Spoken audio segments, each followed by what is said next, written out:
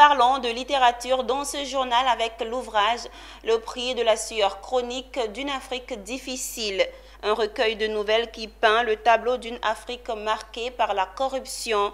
L'œuvre a été présentée par son auteur ivoirien Krekoum Roy à la paroisse Saint-Égidio de Trècheville à Abidjan où s'est tenue la cérémonie de dédicace.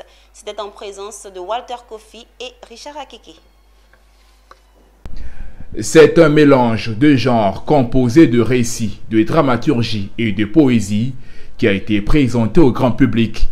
Le prix de la sueur chronique d'une Afrique difficile est un recueil de douze nouvelles qui dénoncent une Afrique malade de ses enfants.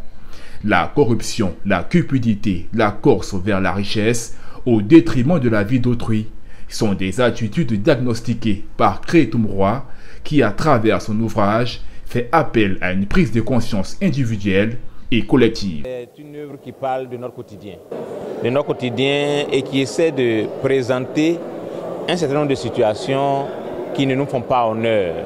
Parce qu'en réalité, l'analyse, ce sont ces faits et gestes répétés par plusieurs individus au quotidien qui finissent par nous plonger dans tant de difficultés. Et donc je pense que je parle au thème de la corruption, de la violence, de la violence politique. Et je peux m'arrêter là pour dire que c'est une œuvre qui comporte une douzaine de nouvelles, mais qui vraiment balaie notre actualité. Après la présentation du livre et des échanges avec le public, place à la dédicace ou amoureux de la littérature, parents, amis et collègues de l'auteur se sont arrachés le bouquin à hauteur de 4000 francs CFA. Mon nouveau bébé n'est pas surprenant. Monsieur Crécoum Roy est quelqu'un de très posé, très réfléchi et très logique dans son comportement et sa vie de tous les jours. Je pourrais dire qu'il s'agit d'une œuvre majeure.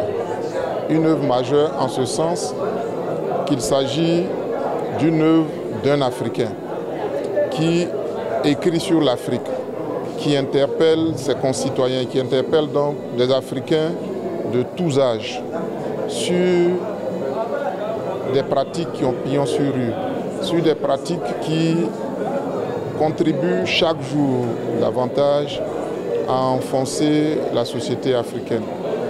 Euh, devons-nous être pessimistes après avoir parcouru ce recueil de nouvelles? Je dis non. Euh, c'est encore possible. C'est encore possible que grâce à ses fils, grâce à ses filles, l'Afrique se relève. Né en 1974 dans l'ouest de la Côte d'Ivoire, Crétum Roy est titulaire d'un diplôme d'études approfondies des lettres modernes de l'université Félix Houphouët-Boigny de Cocody. Diplômé de l'école normale d'administration ENA, il exerce comme inspecteur principal d'orientation à l'éducation nationale. L'auteur est à sa première œuvre et n'entend pas s'arrêter en si bon chemin.